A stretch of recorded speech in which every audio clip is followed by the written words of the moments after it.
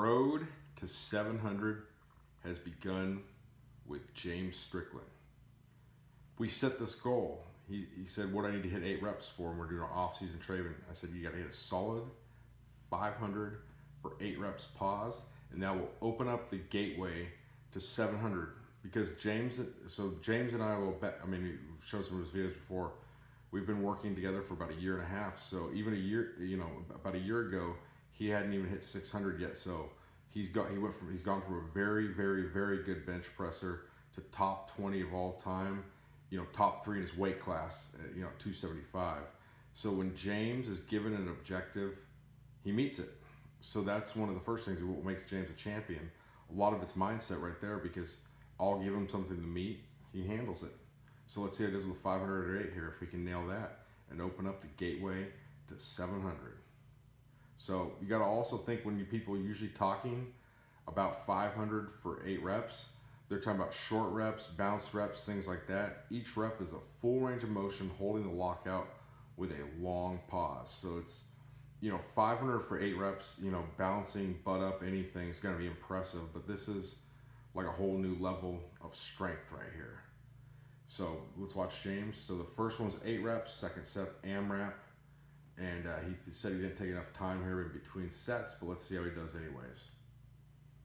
Okay, so he met the goal of 500 for eight reps and definitely had some in the tank there. Very happy and proud of him for that. And um, as you see, is I'm calling it here for the 700 pound bench press. So very cool to see him get the all-time world record at 308 coming up because right now um, he's making the effort to go up a weight class and um, he's also we've also been doing some heavier squats and deadlifts and that's been helping him add some mass. So once he you know with his body type and his height he's going to do really well with the added weight. Working in some dead benches here um, this is not one of his strongest points so we're taking care of handling some of this in the off season. We'll throw him periodically in the meet prep. Okay good work there james and um, you know, James is really uh, this road to 700 is really important to him. It was Dr. Wayne Dyer said, "When you dance, your purpose is not to get a certain place on the floor. It's to, to enjoy each step along the way." And I think James is doing a very good job of enjoying the whole process. He's getting into it. He's invested into it, and he's done a great job. Not just looking at the end in sight because you want to know, you know, it's cool to write the script backwards and look at where you're going to finish from, but you have to be present minded and enjoy everything along the way for your own sanity and to actually achieve your goals. So, another, we'll use another Wayne Dyer quote here. We said, if you change the way you look at things, the things you look at change. So, I would be very mindful of James's mindset right here.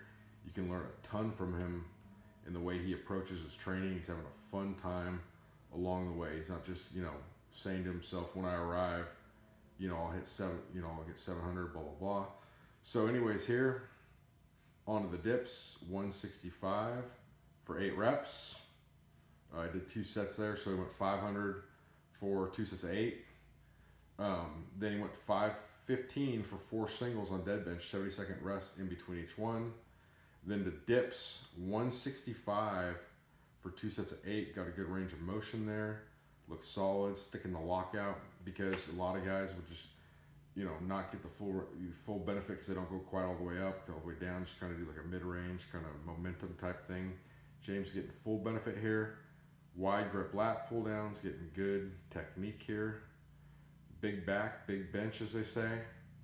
So right here on this, he's going four sets of 15 and it's uh, sort of silly to start naming off weights on um, lat pull downs. That's like um, bragging about a date you got when you've paid an escort because every machine's different. So here we go, looking very good here. Full range of motion, each rep squeezing at the bottom. And uh, so obviously the bench presses are done in the compensatory acceleration style, point A to point B as explosively as possible. Um, and that's the focus, you know, without sacrificing tension or technique.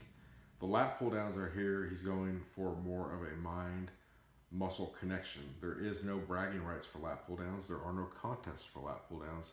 So he's getting the most out of it, feeling the muscles work. And he's got that big wide back that's become a launching pad for him. So we'll do a variation, different grips on the lat pull downs, go neutral grip sometimes, more narrow, things like that. Um, these feel better on his on his elbow than doing pull-ups, so we're trying to avoid any problems there because he could load up some very, very, very heavy pull-ups, but if uh, it causes any issues with his elbow, that kind of defeats the purpose because at the end of the day, this is just this is all about getting the all-time world record in the bench press and cracking 700 pounds. So the heavy squats and the deadlifts are fun, but as we get closer to the meet, we'll back them off a little bit because um, of central fatigue, any central fatigue, excuse me, and even muscular fatigue.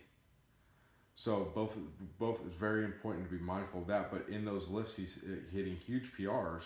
So after he sets the all-time world record, when it's time to hit a full meet and get really strong there, that's going to happen too. The other thing with James here, besides that, is if you watch his deadlifts and he's going overhand with straps, so a lot of people will be kind of goofy and say, oh, you know, you know, you wear straps, you're some sort of poodle dick. Where actually, there's a purpose behind that because um, we obviously when you go over underhand, there's um, a higher risk of, of obviously of tearing your bicep. The other thing is the structural balance from going over under. So with uh, bench press being the objective, there's no point of taking those risks. So finally, we're finishing off here with the Juarez Valley 20 push-ups, okay? So that, again, so a lot of people get these wrong, and I've written articles about for muscle fitness and all this stuff in Jailhouse Strong. So basically, if you do a Juarez Valley 20, you are um, covering every number between 20 and one rep when you're doing the push-up. So you go 20 reps, walk across your jail cell, aka you know outside here in your living room, whatever. We go 20, then you go one. You go 19, then you go two. You go 18, then you go three. You go 17, then you go four. 16, then five. 15, then six. 14, then seven. 13, then eight. 12, then nine. 11 and 10. So once you've done that whole sequence and every number is completed between 20 and 1, you have completed a Juarez Valley 20. So a lot of time, a lot, most people can handle more volume on push-ups than they can like, you know, say, you know, variations of pressing. It's a very natural um, movement. So what we can do here is get a ton of volume. And so when you're talking about a guy that weighs 285 pounds, it's a ton of work right there. You know, the 20 to 1, you do the math, it's a lot of push-ups. So in a very short amount of time. So your goal is to do it as fast as possible. And um, so instead, what you can do instead of just keep adding more and more reps, you can try to increase your time. That's called density training when you're trying to improve on your time. That's what Kazmaier was talking about. If you look at his um, at his interview, he was talking about a lot of people don't look at the you know the short rest intervals. So make sure um, you, you like this video, subscribe to the our YouTube channel, share it, and. Uh, good work, James. He's starting to look like a guy that's to bench 700. It's not, just you know, good job.